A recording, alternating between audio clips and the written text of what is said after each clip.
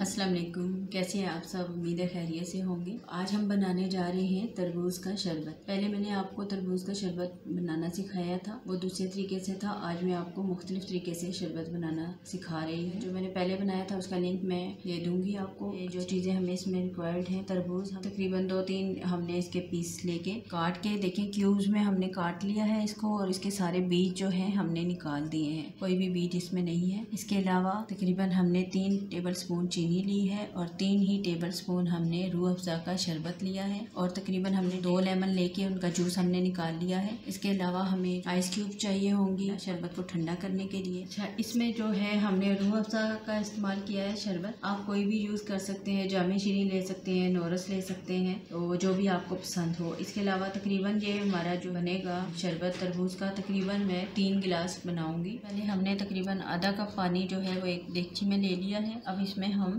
चीनी शामिल कर देंगे। अब चीनी को हम अच्छी तरीके से घोल लेंगे। चीनी हमारी तकरीबन घुल चुकी है। अब हम इसमें जो रूह अफ़ज़ा का हमने शरबत लिया था, वो भी ऐड कर देंगे। अच्छा ये देखें, हमारा जो शरबत है, वो तैयार हो गया है। अब हम इसमें लेमन जूस भी ऐड कर देंगे। ये देखिए हमारा जो है ये रेडी हो चुका है। अब इसमें हम सबसे पहले आइस क्यूब ऐड कर देंगे ताकि हमारा जो है अच्छा सा चील हो सके।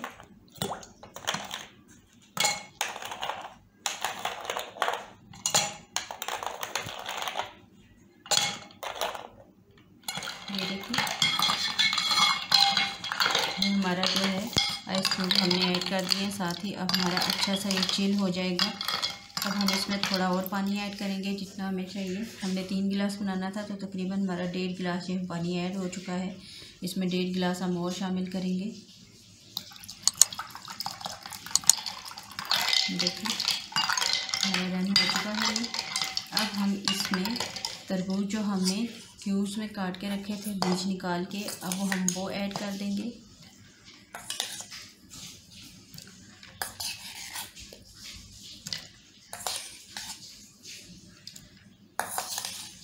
बहुत ही मज़े का ये शरबत बनेगा।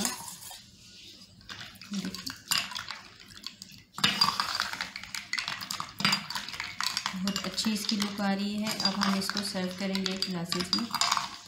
ओके, ये देखें, हमारा जो है मज़ेदार चिल सा, ठंडा सा हमारा शरबत जो है, वो रेडी हो चुका है। और तरबूज तो आपको पता है ऑलरेडी गर्मियों में कितना अच्छा होता है, ठंडा होता है। और हमारी सेहत के लिए कितना मुफीद है, लेमन भी।